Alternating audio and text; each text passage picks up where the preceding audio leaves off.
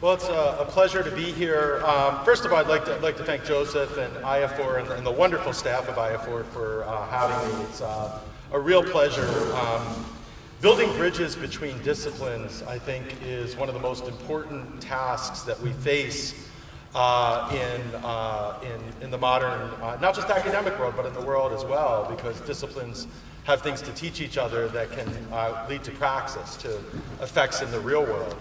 Uh, but moreover, I think building bridges between nations, if there's something more important, would be, uh, would be the thing that, that's more important. And uh, it's a pleasure to speak here because I, of course, focused on both of these things, building bridges between disciplines and between nations. And uh, so uh, it's truly my pleasure to be able to share uh, a little bit about an extremely controversial topic with you. Um, but I do law and religion, so I, I, never share anything that isn't extremely controversial. Um, I always tell my students um, and uh, frequently in, in, various books or whatever that I write that, you know, no matter what you believe, you're going to probably be aggravated by the end of uh, what I have to say. But, but I think that the interesting uh, aspect of it is um, that when we, when we look at these issues not from uh, an inherently uh, invested perspective, when we're standing in some ways from outside of a debate and able to look in with something of what we might call an academic eye, even if we accept that there's no Archimedean point from which we can say that something is, is inherently um, you know, uh, true or not true. There, there are certain facts that um, I think become quite helpful uh, to us in, in, addressing the Yasukuni issue.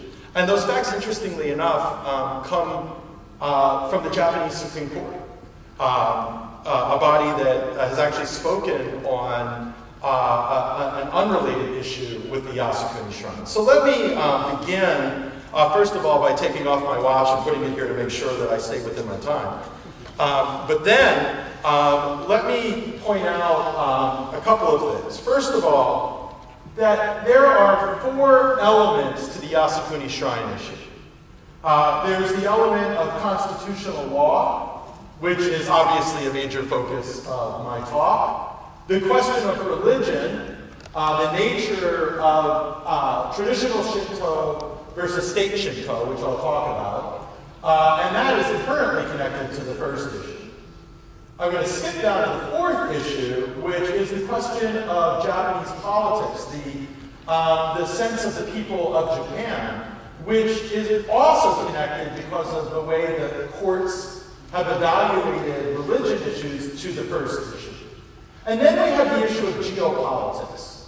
Uh, many of you are familiar with the fact that uh, recently the Prime Minister of Japan, Shinzo Abe, visited the Yasukuni Shrine um, and I'll talk a little bit about the history of that shrine for those of you who are not familiar with it. This is uh, controversial uh, for a large number of reasons in the international community, particularly for China uh, and Korea, but also for countries in South Asia, um, and even um, to a, a, limited extent uh, in the United States, um, to the extent that anybody in the United States was actually paying attention. Um, I'm American, I can make fun of. Um, so the geopolitical issue is fascinating. And it's the geopolitical issue that has occupied most of the media and most of the attention on Yasukuni. And yet I'm going to talk more about these three issues and their connection and suggest that it's actually the combination of this approach, constitutional law, looking at religion and Japanese politics, that may in the end provide a way to address the geopolitical issues. Um, so I'm sort of coming at it from the perspective of um, this being the most controversial uh, for a number of good reasons, but perhaps from other disciplines, looking at law, um, religion, and politics, perhaps we might find a solution uh, from within Japan to the geopolitical uh, issue. Okay. So with that said, I'm now going to give you, um, well, actually, I'm going to go back a slide. Uh, I'm now going to give you a real quick uh, Cliff's Notes on uh, state Shinto and Shinto. Um, I, for those of you not familiar with the idea of Cliff Notes, maybe the idea of a tapas would make sense. I'm going to give you some really small tastes uh, on this issue, on these really controversial questions, um, but I want to say that you could spend an entire conference talking about just uh, traditional Shinto or the history of state Shinto. And so I'm going to give you just the most basic overview.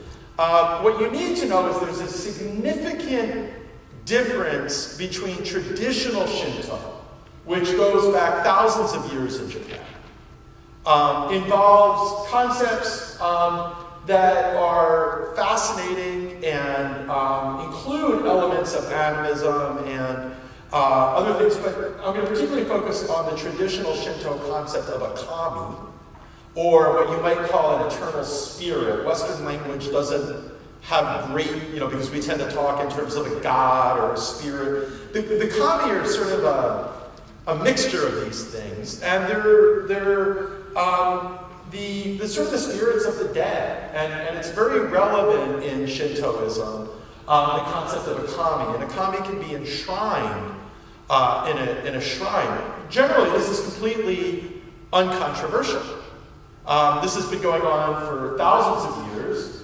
Um, historically, Shintoism, traditional Shintoism, coexisted, or predated Buddhism in, in uh, Japan, and it coexisted quite well with Buddhism up until the Meiji era of state Shinto. Um, state Shinto took one element of traditional Shinto, which was uh, a, a, recognition of imperial ancestry, the ancestry of the emperor uh, in, in, Shinto lore back to the goddess Amaterasu, the sun goddess, um, and uh, the idea of, of, this unbroken lineage uh, in the imperial household. For most traditional, traditional Shinto practitioners, this wasn't the major focus of their Shintoism. Their own family um, uh, spirits, um, their own um, future and luck and, and hopes and dreams, those were the focus of traditional Shinto. There was some recognition of imperial uh, ancestry, but it wasn't a major, major focus of traditional Shinto. State Shinto was the imposition by government of imperial focused Shinto. Um, and there's a great book written in uh, 1912, actually, by uh, a Japanese legal scholar called Ancestor Worship in Japanese Law.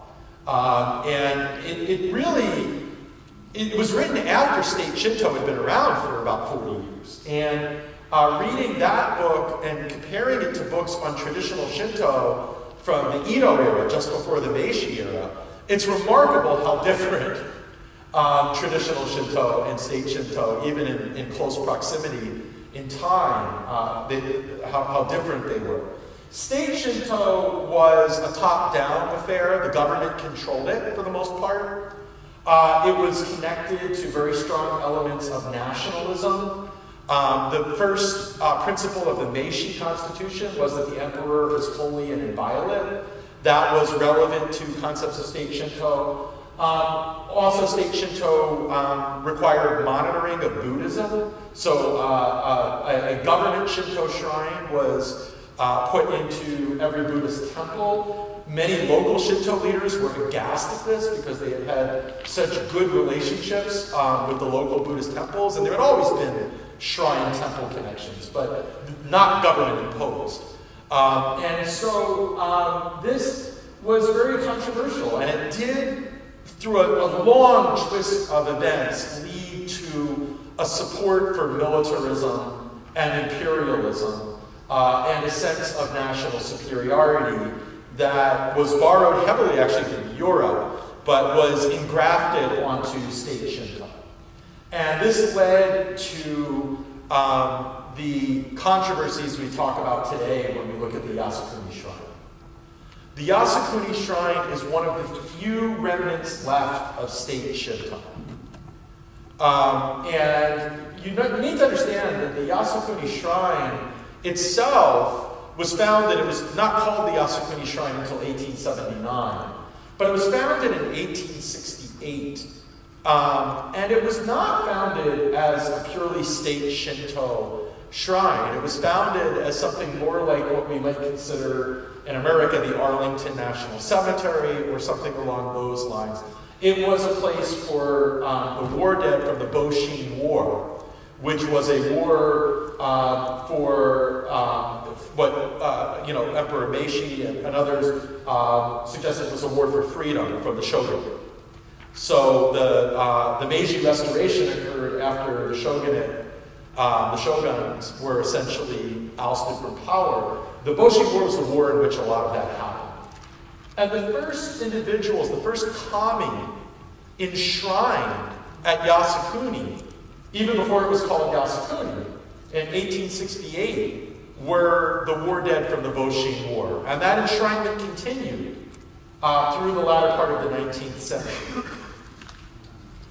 But Yasukuni became particularly controversial actually after World War II. During the state Shinto era, during the Meiji era, the state directly supported Yasukuni. Uh, there was state money, there was state support. Yasukuni was a state shrine, uh, and uh, and it was um, you know very heavily glorified under the state Shinto era. However, after World War II, the occupation government um, had sort of two goals.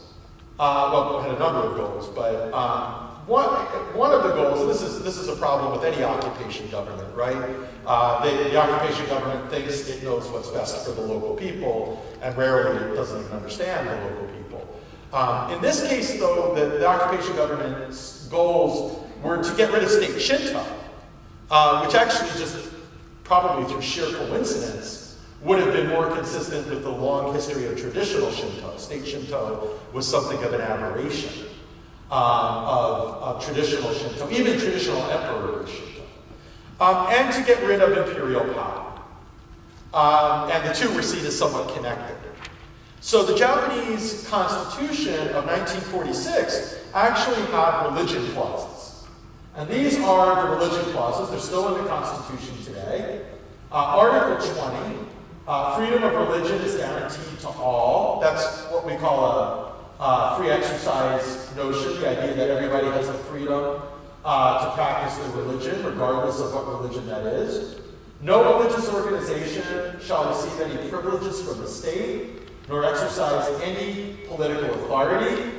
Um, that was sort of the death knell for state Shinto, um, but has relevance to modern circumstances as well. No person shall be compelled to take part in any religious act, celebration, rite, or practice this is really important because in state Shinto, people were compelled. Um, there's this um, rumor out there, mostly actually among American scholars of Japanese law, and it's, it's actually not accurate, um, that uh, the Meiji era was an era of great free exercise of religion. Um, it was an era where there was a language in the Constitution that talked about free exercise, uh, but there was no free exercise. If you didn't take part in these celebrations, you were, you were uh, essentially a problem uh, under the Meiji government, and, uh, and you know, Buddhists and, and, many others were in prison. Um, the state and its organs shall refrain from religious education or any other religious activity. That was also an element of state Shinto. Um, the government under state Shinto enforced um, religious teachings about state Shinto in the schools. People were inculcated into state Shinto. Um, Article 89, no public money or other property shall be expended or appropriated for the use, benefit, or maintenance of any religious institution or association, or for any charitable, educational, or benevolent enterprises not under the control of public authority. This is a funding clause, no funding. Ooh, I dropped my microphone. Then, one second. The, um, this is a, no funding provision, uh, but all of this combined was an attempt to essentially kill state Shinto um, as, as a government-supported entity. So Yasukuni did the legal thing. It went private. There's, and I want to be clear, no one, I, I, at least I'm not questioning the right of Yasukuni to exist and the right of private individuals to go there, uh, particularly if their relatives are enshrined there. Um, you know, we're, what we're talking about here, and I wrote it in Japanese, Seiji Toshokyo no or separation of government and religion under the Japanese Constitution. So it's Seiji Toshokyo no Bunri means the separation of government and religion. It's not exactly the same thing as uh, separation of church and state, um, but there was the established state Shinto. Um, and, and, one of the ideas of no Bunri is to get rid of um, government uh, support for religion. Uh, but this was imposed from the outside. These are essentially American ideas uh, imposed on Japan uh, from, from the outside. And, and, and Japanese existence is not based on the dualisms of the West.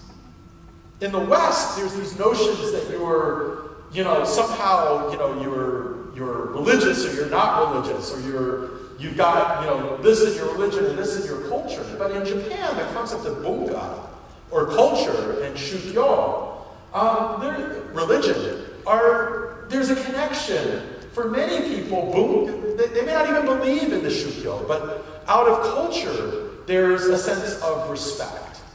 Um, and the other way around as well. There are people who may have uh, very deep religious beliefs from whatever religion they are, but for cultural reasons will respect or pay, pay respect to other institutions. So these Western ideas had to be interpreted by the Japanese courts so that they could fit Japan. And the courts did this in a line of cases. And I want to focus um, particularly on a case that is one of the most remarkable and well written opinions, I think, in the history of the Japanese Supreme Court. Um, the, the, for those of you who want to read it, there is an English translation. It's, it, I will say it's better in the original Japanese, um, but, um, but it, it, it's just more detailed um, in, in, the regular Japanese, and the court uses some um, very strong language condemning state Shinto, um, but, but not condemning traditional Shinto. and I'm going to talk about that in a moment. The case um, itself revolved around what's called Tamagushi. And this is a, a artist's rendering of Tamagushi. Tamagushi is an offering uh, at a Shinto shrine. You take a twig from a sakaki tree, and there's uh, paper that are uh, tied to that, papers that are tied to that, and the offering is given uh, at a shrine. And this is not limited to Yasukuni. The, the, Tamagushi occurs at many, many Shinto shrines. It's a normal offering to the, to the shrine. It has uh, meanings for luck, for future, for respect. Tamagushi is a, it's, there, there have been entire books written about Tamagushi. It's, it's a very rich cultural practice. You can still see it today um, if, you, if you go to Shinto shrines, um, particularly at ceremonial times, but, but even at other times. Um, the Ehime Tamagushi case was interesting because it involved Tamagushi at the Yasukuni Shrine. And not just Tamagushi at the Yasukuni Shrine, but Tamagushi at the Yasukuni Shrine, sponsored and paid for by Shiraishi, who was the governor of Ehime Prefecture, which is in, um, far to the south of Tokyo. The Yasukuni Shrine is in, is in Tokyo. So uh, Shiraishi ordered some of his uh, underlings to go and offer Tamagushi at the Yasukuni and the Gokoku shrine, which is a similar uh, entity. It's the other one that has a, some connection to state Shinto, at the Yasukuni shrine. Now understand, at this point, Yasukuni is private. It gets no money from the government.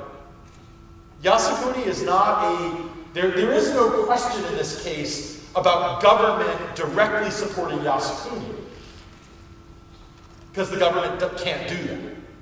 So the, the question in this case was, does the governor of a prefecture using state funds to send representatives to Yasukuni to offer Tamagushi paid for with state funds, does this violate the concept of Seiji Toshikyo no Bunri, or as I said, separation of government and religion under Articles 20 and 89 of the Japanese Constitution. And what's fascinating about this is the court looked at an earlier case called the Tsu City case. which applied a test um, very similar to a test we apply in the US, where it looked at what was the purpose, what was the reason for a government action, and what was the effect of that action on people generally. Now, in the Tsu City case, it involved traditional Shinto, a groundbreaking ceremony for a gym. And the court held that there was a non religious purpose, and that purpose was bunka, Japanese culture. That we have to look at purpose and effect, and I'll, and I'll actually quote the opinion here. Uh, it's only a problem if the purpose and effect of what the government's doing goes beyond the appropriate limits in light of social and cultural circumstances in Japan. And the court in Tsu City said, oh, but this is just a local Shinto groundbreaking ceremony. People have been doing this for years. It's, it's got religious elements, but it's really bunka. It's just culture, bunka's culture. So it's just accepted as part of Japanese culture. It's not controversial. It's not out of the boundaries. Um, many lawyers in Japan, uh, as well as, by the way, religious scholars, questioned the result of the decision because they felt that this concept of Shinto as bunka was actually uh, a formalistic way for the court to avoid the fact that the state was supporting an actual religious ritual here. And that many of the people who were most upset about it were devout Shintos uh, people who were devout Shinto practitioners, because in a sense it belittled traditional Shinto. This ceremony was not just bunka to these individuals. This ceremony actually had religious meaning. That case, I'm just giving you the background on that case. We're not going to question that case here. Ehime Tamagushi is amazing because it, it was decided in 1997 uh, some of you looking for it in English, you might see it as a case called Anzai v. Shiraishi, because a lot of Western legal scholars th thought that you're supposed to use the Western idea of who was the plaintiff and who was the defendant in writing the name of the case, but that's not the way the Japanese courts write the case. So you'll see it written both ways. For those interested, I can give you the, the citations. Uh, but the Japanese Supreme Court, for the first time, in a case involving establishment of religion or government support of religion, talked about the history of Articles 20 and 89 from their imposition by the American government to their acceptance and, in fact, consistency through interpretation with the Japanese being. It is a brilliantly written decision. Fascinating decision. Because the court says state Shinto was the reason for Articles 20 and 89. And the court recognized Articles 20 and 89 were imposed on the Japanese people by America. The court said, but state Shinto was imposed on the Japanese people by the Meiji, Taisho, uh, Taisho, and early Showa and particularly the military that was really using state Shinto for its benefit was, you know, uh, those of you who are familiar with Japanese history understand that Taisho was, was not all there, and that's when the military particularly manipulated uh, the concept. Um, and the court goes through the history of the connection between state Shinto and militarism and how that's inconsistent with the modern pacifist culture in Japan, the, the, the, um, the court goes through um, the discussion of how the Articles 20 and 89 were imposed on Japan from outside, and how their language is not by itself completely consistent with Japanese being or dasein, but how the Japanese people have come to embrace the concept. And I will say this as a law and religion scholar Japan is quite possibly the single best country in the world for religious freedom. Don't get me wrong, there's a lot of other issues for, for foreigners and, and other issues in terms of um, uh, discrimination and issues like that. But on religious freedom, Japan is amazing. There, there just are virtually no issues um, uh, in Japan uh, other than the Yasukuni issue um, uh, where religious freedom questions um, really divide the Japanese people. The Japanese people have a sort of live and let live mentality on religion, um, not a Western sort of dualistic mentality. Um, and um, this is reflected in the Ehime Tamagushi. The court says we've made these provisions, Article 20 and 89, our own. They have become Japanese, uh, even if they were imposed by America. And quite just a brilliant decision. The court looks at the purpose of the giving of Tamagushi and says, this is clearly unconstitutional. Um, Yasukuni is not accepted, um, and it is not something that is within the appropriate limits in light of social and cultural circumstances in Japan. The Yasukuni Shrine is controversial within Japan. Um, it was even before uh, Class A war criminals were enshrined there. Um, and uh, the court, again, it's, it's, a very well-written opinion, points out Class A war criminals, it's, it's, it's a letter. You know, it, it sounds horrible, oh, there's Class A war criminals. But there were Class B and C war criminals there before that. Um, and B and C war criminals are people who are more involved in the trenches and killing people. Um, and so the, the court points out that the Yasukuni issue had always been controversial from the post-war era. And, um, and so the court says the purpose of giving Tamagushi uh, is either a, uh, a, religious purpose, which is to recognize the kami of the war dead, uh, in which case it's a laudable purpose for private individuals, but not for government. Or its purpose was to pander, to use religion to pander to nationalists and Ehime prefecture. Which, in that case, you're using a religious means to achieve the secular political end, and that's unconstitutional also. The court looked at the effects of giving Tamagushi, and in there it looked at the perception of the average Japanese citizen, and said the average Japanese citizen who's aware of the Yasukuni shrine history and controversy um, would perceive this as a religious act. And again, the problem isn't that somebody's going to give Tamagushi a Yasukuni shrine. Anybody has the freedom to do that. People have the freedom to love or hate the Yasukuni Shrine under the Japanese Constitution. We only care in the constitutional context about what the government does. Okay? It's not a question of whether a private individual can or cannot go to the Yasukuni Shrine. You, you or I may have concerns with uh, revisionism or whatever that may be there, but, but people have a right uh, to, to, to go there and do what they want. The question is whether government can pay for that, whether government should pay. The court looked at six factors um, that relate to purpose and effects, but most of them relate to the things that I, I mentioned. So they looked at the external aspects of the con conduct. How would somebody perceive it? Um, the place of the conduct, it's the Yasukuni Shrine. The average person's religious understanding, they understand a shrine is where kami are enshrined, therefore it's religious. The actor's religious intent, the court was really interesting there. They pointed out that Shiraishi either had a religious intent or a nationalist pandering intent, for which he used religion. In either way, that's unconstitutional.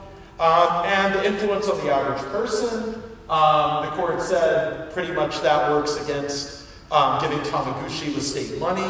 Uh, and then objective judgment based on socially accepted ideas. What's socially accepted in Japan? And this is where this case is the most amazing. The court pointed out this isn't Tsusei. This isn't traditional Shinto. Traditional Shinto is accepted by most Japanese as just sort of part of culture and life, whether they believe in it or not. It's just, it's just part of you know, you do a groundbreaking, you have a Shinto dedication. Why? You want the workers to be safe. You want there to be good fortune for the, for the building.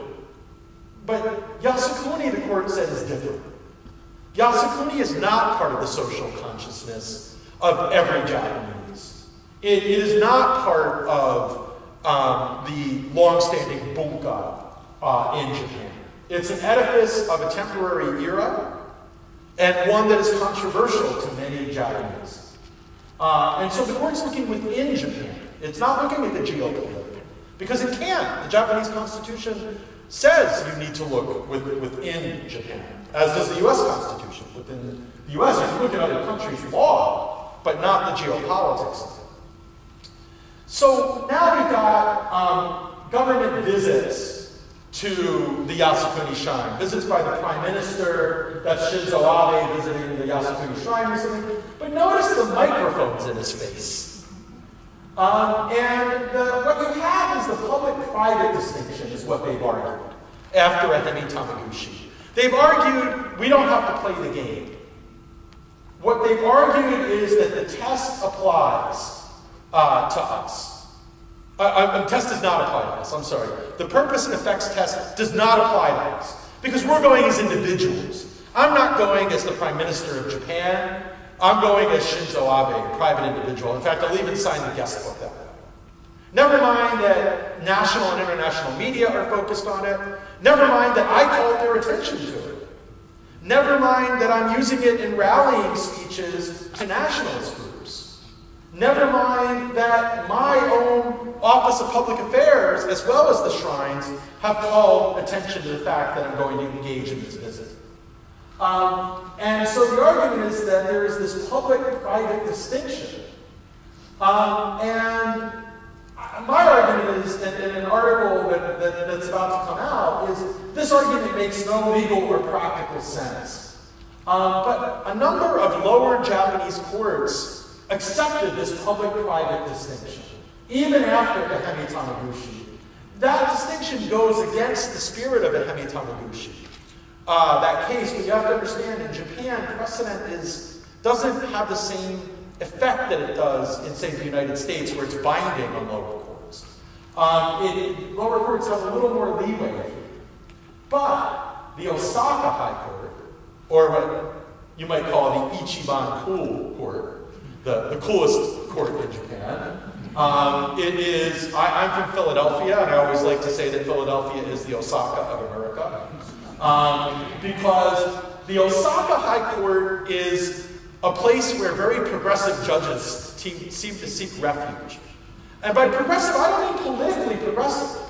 I mean legally thoughtful and progressive, not overly formalistic. Judges who will look at precedent and read the, the, the whole precedent to understand what it actually means, um, and take some serious time to make a decision. And it applied Article 20 of the Japanese Constitution when the former Prime Minister Koizumi visited Yasukuni and held that the visit was unconstitutional for all the reasons that the Tamagushi offerings were unconstitutional in Ehime Tamagushi. And the court rejected the public-private distinction because these visits are clearly not private. And since the test that the Japanese Supreme Court has created is heavily based on the perception of the average citizen in Japan, the average person, the average person is aware these visits are not purely private because they're seeing it on the news. They may not understand the international controversy that it sparks. They may not understand why that controversy exists. There is um, one of the issues around Yasukuni is its connection to historical revisionism. There's a museum there that, that, that prime ministers don't visit. Um, I'm sorry? Thought I heard somebody say that. But, um, but, it's, but prime ministers don't visit um, uh, that because that would be way too controversial. But there is sort of that revisionism in the Japanese school curriculum, and a lot of Japanese citizens aren't really aware of why, uh, until they get to college sometimes, why um, the, the Yasukuni Shrine is so um, uh, uh, controversial in geopolitical sense. But the Osaka High Court's decision is brilliant. Unfortunately, it's also not translated into English. I wish it, maybe, maybe at some point if I can improve my kanji well enough. I had my research assistant write kana above it so I can read it. Uh, that's for them. Uh, but the, um, the, the court points out that it doesn't matter whether it's controversial internationally, although that's, it, it, the court points out it should be controversial inter, internationally uh, because of, uh, of Japan's actions, which is what the Supreme Court had said in Ehime Tamagushi. There's a reason for the international uh, outrage.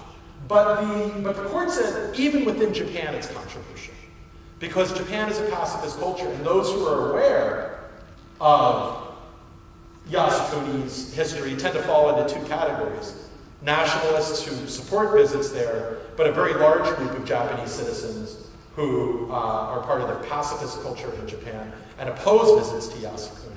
And even though those groups combined are not even a majority of the citizenry, it shows a huge dispute among Japanese citizens. And the Osaka High Court said, well, that shows it's not commonly accepted. Uh, it's just a really interesting decision. So, inspired by, I think, the brilliant concept of IAFOR, uh, the idea of building bridges across disciplines and across nations, I wonder, what, in what way could constitutional law be a tool for conflict resolution?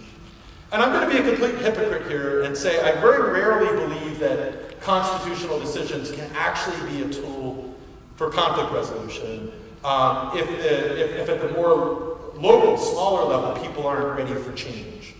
However, I do believe in this case, constitutional law could conceivably be a tool.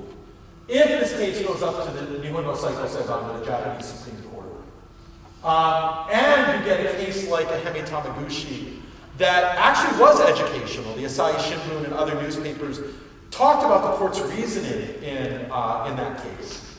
And uh, it could be a way uh, to resolve a lot of these controversies, uh, in, uh, not resolve, but to educate the Japanese people on well, why is this unconstitutional? To talk about that, you have to talk about the history of state Shinto, Article 20, Article 89, Yasukuni. It could be very educational. Um, but the court could only do that if it found the practice to be unconstitutional uh, the, the, practice of high-level officials visiting. it. We don't know what the court will do. Um, if it follows Ehime Tamagushi, it clearly would find it unconstitutional. But it doesn't have to follow Ehime Tamagushi. A well-written decision could be a teaching moment for the nation and its people, but I also believe it could send a message to neighboring countries about what the core values of Japan really are you know, I, in neighboring countries, I talk to colleagues from China and other countries who, who um, you know, uh, uh, don't always understand it. Most Japanese people, they didn't vote for Abe because he's going to visit the Yasukuni Shrine. It was, it was about economics. Most Japanese people don't agree with um, the radical statements of, of someone like Shinzo Abe. That's there to appeal to a very small group of nationalists that vote in very high numbers. Um, but I think most people don't understand, sort of in a way, maybe the soul of Japan, the, the nature of um, uh, many of the Japanese people, uh, and the fact that, for example, it's almost no attention is paid to the fact that neither Emperor Hirohito nor Emperor Akihito have visited the shrine since the Class A war criminals were enshrined there. And Hirohito's papers are now being published. Um, and there's some writings in those papers from his, um, from, from the, the, head of the imperial household uh, that, that, talk about his reasons for not visiting. And he was troubled visiting even before the Class A war criminals were enshrined. Um, but no emperor has visited since the Class A criminals were enshrined there. That's a very powerful message, considering that Yasukuni was created by the imperial household. Um, and many Japanese would never visit Yasukuni, you know, even if they were in Tokyo. Um, it, it's, you know, Japan is a culture that is heavily based in a way on conflict resolution, on a need to get along, many people on a small island, a need to maintain social cohesion, uh, and minimize conflict to the greatest extent possible. And so when somebody like Shinzo Abe does something that's so controversial internationally, domestically the reporting on it may be designed to minimize controversy. Um, and so I think that a written decision by the Japanese Supreme Court that was then published internationally would show here is one of the three branches of Japanese government that is saying these visits are wrong. People overseas are not listening when people, even within the LDP party, say these visits are wrong. Um, or when Japanese scholars say these visits are wrong. There are many Japanese who have spoken. But the international community doesn't seem to hear those voices. And I think if the Japanese Supreme Court spoke, that would be a voice that the international community would hear. And maybe through, if the opinion was written in a way like Ehime Tamagushi, would be able to see some of the beautiful soul of the Japanese people that stands in direct contrast to the horrible elements of uh, someone like Shinzo Abe's visits to the Yasukuni shrines, and perhaps the nationalist anger that that involves. Uh, that may overshadow the beauty of the Japanese people. And I hope that maybe bridges can be built by judges of all people, uh, so that perhaps the geopolitical issues could be resolved by a decision that looks solely at what's going on in Japan to define the separation of religion and government. Again, I, I want to thank you uh, for taking the time to listen to me um, uh, drone on about uh, law and religion, and I want to thank IAFOR for an opportunity to uh, share some interdisciplinary ideas, but also some um, international ideas, maybe give you a different perspective on, um, on a very important issue. So I hope you learned a little something.